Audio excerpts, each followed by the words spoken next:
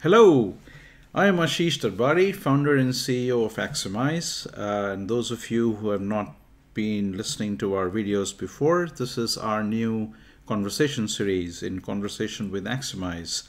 So today I'm going to be talking about simulation and formal. So let's see what it's all about. So simulation, especially dynamic simulation, has been in use for many years uh, for verification and formal verification has been slowly getting adopted uh, in mainstream verification. So how do these two things compare? So on one hand, the most widely used form of dynamic simulation is constraint random, which the name suggests uh, is random uh, in nature in the presence of constraints. And on the other hand, you have formal verification, which is systematic, uh, state space search leading up to exhaustive verification. So in order to get a better hang of what these things are and what they should be used for, um, I think you should take a step back and talk about methodologies. So if you're doing SOC verification, then it's basically about catching bugs both at the IP level as well as the full SOC. So what we are ideally aiming to get at is try and get most of your bugs early in design verification, achieving the shift left paradigm through formal because it's quick, it's cheap, um, it's more efficient at bug hunting. Then you go higher up at the subsystem level and system level and apply more dynamic simulation and finally going to the full system getting emulation to find your system level bugs. So a good verification plan is the key and that should be the focus uh, in any good verification and it should capture essences of uh, requirements both for the IP as well as the SOC level. Uh, if you're applying formal, think of applying uh, apps at the right time for the right reason and uh, use good methodologies uh, that we are promoting in Axiomise for obtaining high quality functional formal verification. Uh, start early, that's the key. Use automated apps whenever you can and, and use uh, user-defined properties, you know, assertion-based verification throughout your functional verification and coverage should really begin in the first hour you know. Um, all of your code coverage structural coverage uh, type activity should begin in the first hour. Your unreachability should begin in the first hour. Uh, you shouldn't have to wait until your whole design is finished to start running your structural coverage checks. Uh, and if you're running a assertion-based verification you know you'll be writing your cover properties you'll be analyzing the effect of constraints on your test benches. All of that could begin in the first hour. And think of this as being going agile, and that's the key. So simulation-based verification flow, you know, at a very high level, you know, we have a strategy, we have a plan, it goes into a test bench, which typically consists of a scoreboard, constraints, some checkers, lots of apparatus needed for stimulus generation, and then running your code coverage and functional coverage to sign off.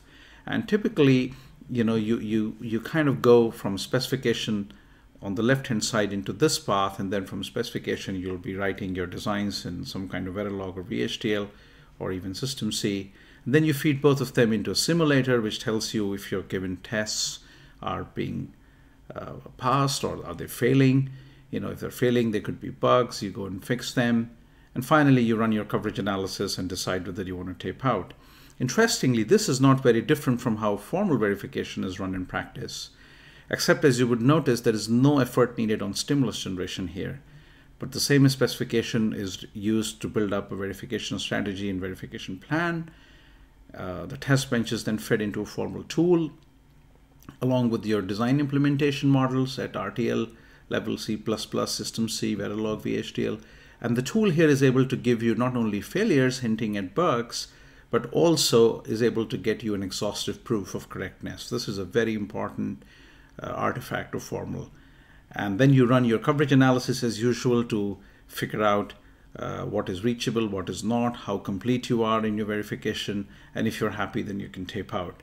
So the key difference to note here is there is, there is no stimulus required. You get exhaustive proofs, and the debug timescales are much shorter than simulation uh, because of the way the formal verification works. So if you are interested in understanding how to apply formal in your projects, then come and talk to us. You know, uh, we've opened Axiomise this year with the vision of making formal mainstream for all design verification. And we teach you how to solve the toughest verification problems with formal, break down complex problems. with abstraction and other problem reduction techniques. Uh, we teach you what works in the field. We have no interest in teaching you language syntaxes and stuff like that, which you can find in textbooks uh, and, and, and so on. We share with you what you need to know and, and just about what you need to know to become productive with Formal in your project work. So our training programs are very well designed and thought about, which let you have the best of the skills and methodology in a very short amount of time. And you know, if you still are missing something after the training programs, we provide you support after the training so you continue to be successful. So really, you shouldn't be uh, waiting for this any longer. You know, I have personally delivered training uh, in the last many years, trained uh, now nearly 100 engineers. Uh, a lot of these now work at Apple, ARM, uh, Imagination, Facebook, Synopsys, OneSpin. Uh, been in trenches for a long time doing projects. So I understand project deadlines, understand resource development, training requirements. Uh, been in the field for 20 years doing formal verification. So, so you know, don't wait anymore. Take your first step. Uh, you know, become a pro. Come and start your formal verification journey with us. Come and talk to us. Uh, interested in training? Go to axiomise.com slash formal underscore training. Uh, looking forward to hearing uh, from you and uh, excited to share the joy of formal.